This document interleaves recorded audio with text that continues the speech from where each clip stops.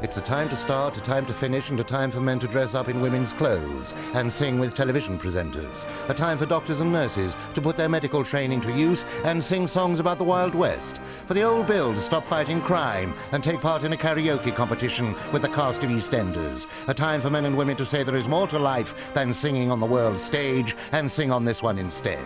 It's a time to open our hearts, purses, and headscarves. In future, we'll remember this time as 7 o'clock, Children in Need Live, Friday on BBC One.